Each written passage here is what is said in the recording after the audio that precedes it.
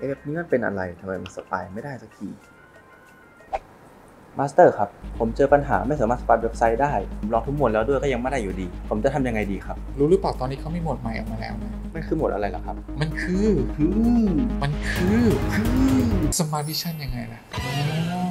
ขอบคุณที่ช่วย cheer up นะ20 บาทครับ อืมเดี๋ยวนี้คือเพิ่มกันแบบนี้แล้วเหรอ เข้าเรื่องกันเลยดีกว่า Smart Vision เนี่ยมาทำงานยังไงล่ะครับ Smart Vision เนี่ยเป็นฟีเจอร์ใหม่ของทาง Buddhism เลย ซึ่งจะเป็นสปายโหมดแบบหนึ่งเราจะใช้ AI Surface Automation แล้ว AI Surface Automation เนี่ยการทำงานมันเป็นยังไงล่ะครับ AI Surface Automation เนี่ยเปรียบเสมือนกับ Visual Automation ซึ่งจะเป็นการใช้ Image Recognition เพื่อตรวจจับตำแหน่ง Element ที่อยู่ในรูปภาพ และอาจจะมีการใช้เทคโนโลยี OCR เข้ามาในการอ่านข้อมูลด้วย แล้วเราจะใช้งานเจ้า Smart Vision นี่ยังไงครับ อย่างแรกเลย เราต้องใช้ Blue Prism เวอร์ชัน7.3 ก่อน และลง license ที่รองรับฟีเจอร์นี้ เดี๋ยวจะทดลองให้ดูนะ ได้เลยครับทำการล็อกอิน เข้าโปรแกรม Blue Prism จะสังเกตเห็นว่าเป็นเวอร์ชัน7.3 นะครับหลังจากนั้นเราจะเปิดตัว Object ขึ้นมา ตัวนี้ได้ทำ Action Launch เอาไว้แล้ว เราก็รันเพื่อ launch ตัว Centric Data Solution ขึ้นมานะครับ เดี๋ยวจะใช้กับ Smart Vision ตัวนี้ให้ดู เราก็จะสร้าง Action ตัวใหม่นะครับ ที่เป็นของ Login อ่าหลังจากนั้นกด Application Modular ครับ แล้วก็ New Element ใหม่สำหรับแคปตัว Smart Vision นะครับ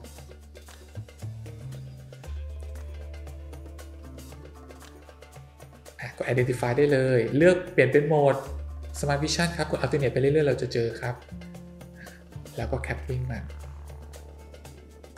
หลังจากเราสปายด้วยโหมด Smart Vision ระบบจะส่ง Image ตัวเนี้ยขึ้นไปให้ที่ Buddhism Cloud เพื่อใช้ AI ในการ Recognize แล้วก็จะมีการใช้ตัว OCR เนี่ยในการช่วยอ่าน Text โอ้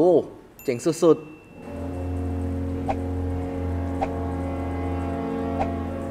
จาก Smart Vision Extract ข้อมูลออกมาให้เราแล้ว เราก็จะเลือกที่ Field Start Number หลังจากนั้นเราจะเปลี่ยนชื่อ Field นะครับ แล้วเราจะต้องหา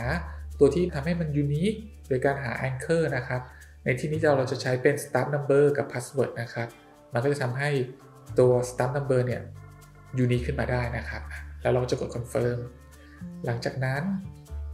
เราก็จะไปทำเหมือนเดิมครับที่ตัว Password ก็สร้างตัว Password ขึ้นมานะครับ หลังจากนั้นเราจะ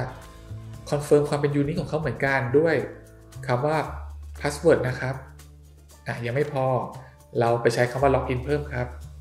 อะตอนนี้ตัว field password unique แล้ว ตัวสุดท้ายจะเป็น login นะครับอะเราก็จะตั้งชื่อ field login นะครับ หลังจากนั้นเราจะใช้ text ในตัวเขาเนี่แหละครับ เป็นตัว anchor ในการทำให้เขา unique นะครับอะกด confirm โอเค หลังจากเรา spy ด้วย Smart Vision Mode เสร็จแล้ว ตอนนี้เราจะมาประกอบเป็น action การล็อกอินกันนะครับ เราจะเห็นว่า Smart Vision เนี่ยเขาจะแคปรูปให้เราด้วย เราจะเห็นเลยว่าตอนนั้นเราไปแคปที่ field ไหน Element ไหนเนี่ยเขาจะบอกเรามาด้วยนะครับ อันนี้จะเป็นของ Staff Number ส่วนนี้จะเป็นของ Password อันนี้จะเป็นของ Login เหมือนเดิมครับ action ที่ดีเราจะเริ่มด้วย Attach แล้วก็ Wait Time นะครับ ตัวนี้อะ Element ของ Smart Vision เนี่ยเราก็จะใช้เหมือน Element ทั่วไปเลย drag and drop ลากวางเหมือนปกติเลยนะครับ ก็เราจะเวทที่ start number ก่อนแล้วเราก็จะมาไลท์ตัว start number แล้วก็ password drag and drop เหมือนกันครับทำงานเหมือนกันเลยใน navigate state นะครับ อันนี้เราจะเวทตัวปุ่ม login นะครับ ก็ใช้ element เหมือนเดิมครับ ในการลากนะครับ แล้วก็ตัว navigate เราก็จะใช้เหมือนเดิมเลยครับ ลาก ได้ a n d o p ตัวที่เราสปายของ Smart Vision ไว้เราก็เลือกเป็น Global Mouse Click Center นะครับ อย่าลืม Activate Application ด้วยโอเค ต่อไปเดี๋ยวจะรันให้ดูนะครับไลค์ครับเวทแล้วก็กดปุ่ม Login โอเค เรียบร้อยครับ แค่นี้เราก็จะสามารถใช้ตัว Smart Vision ในการเข้ามาช่วยในการแคป ตัว Element ที่เราไม่สามารถใช้โหมดปกติทั่วไปทำงานได้นะครับ แต่ Smart Vision เนี่ยยังมีข้อจำกัดอยู่นะ ลองทายดูๆอืมผมว่าเกี่ยวกับภาษา ใช่เลย ในเวอร์ชันปัจจุบันยังมีข้อจำกัดของ OCR ในการอ่าน text ซึ่งจะยังไม่รองรับในส่วนของภาษาไทยนั่นส่งผลให้มีข้อจำกัดในการเลือก reference element ควรหลีกเลี่ยง element ที่ประกอบด้วย text ภาษาอื่นๆ นอกเหนือจากภาษาอังกฤษด้วย อ๋อ สุดยอดไปเลยครับมาสเตอร์ถ้างั้นผมขอไปลองใช้ฟีเจอร์นี้ดูก่อนนะครับ ได้เลยครับ